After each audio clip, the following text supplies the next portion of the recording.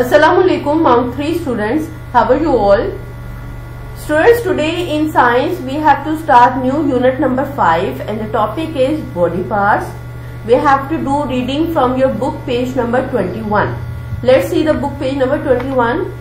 Yes, this one is book page number 21, unit number 5 and the topic is body parts. Body parts क्या होते हैं आपके जिसम के जो हिस्से हैं उनके हमने नेम्स लर्न करने हैं ठीक है यहाँ भी मैं आपको एक्सप्लेन करती जाऊँगी। आप भी जो है, इसी तरह इनको नेम्स ऑफ़ बॉडी पार्ट्स जो है, वो लर्न करेंगे।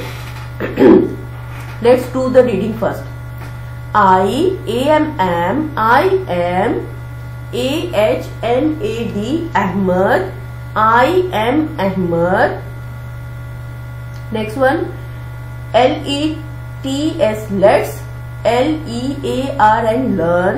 Let's learn.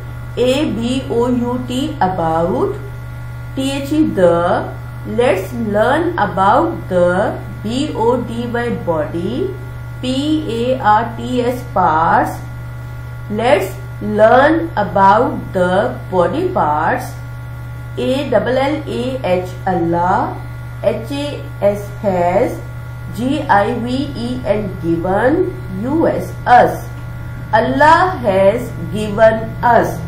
I am Ahmad. Let's learn about the body parts Allah has given us. वो कहता है कि मेरा नाम अहमद है और हम बॉडी पार्ट्स के बारे में हम आज याद करेंगे और अल्लाह ने ये हमें बॉडी पार्ट्स दिए हैं ठीक है नेक्स्ट वन इज़ अब यहाँ पे आप देख रहे हैं बॉय की पिक्चर बनी हुई है तो इसमें उसके डिफरेंट बॉडी पार्ट्स को लेबल किया हुआ है। यानी कि बताया हुआ है कि कौन कौन से बॉडी पार्ट्स होते हैं। मुझे पता है आप सबको इनके नेम्स आते हैं, लेकिन हम एक बार फिर से इनको रिवाइज करके लर्न करते हैं। First one is hair H A I R hair H A I R hair hair बोलते हैं बालों को। Next one head H E A D head H E A D head head है सर जिसके ऊपर हमारे बाल होते हैं। Next one eyes E Y E S eyes E Y E S eyes eyes है हमारी आँखें। उसके बाद है N O S E nose N O S E nose nose है हमारा नाक, ठीक है? मैं आपको उर्दू में भी साथ साथ बताती जा रही हूँ। नोज़ के बाद है ear E A R ear E A R ear ear है हमारे कान. नेक्स्ट वन है lips L I P S lips L I P S lips lips है हमारे होंठ उसके बाद है नेक एन ई सी खे नेक एन ई सी खे नेक नेक बोलते हैं गर्दन को. नेक्स्ट वन है ए आर एम आम ए आर एम आम। आम हमारा होता है बाजू। नेक्स्ट है F I N fing G E R S gers fingers fingers हमारी उंगलियाँ। नेक्स्ट वन है leg L E G leg L E G leg leg बोलते हैं टांग को।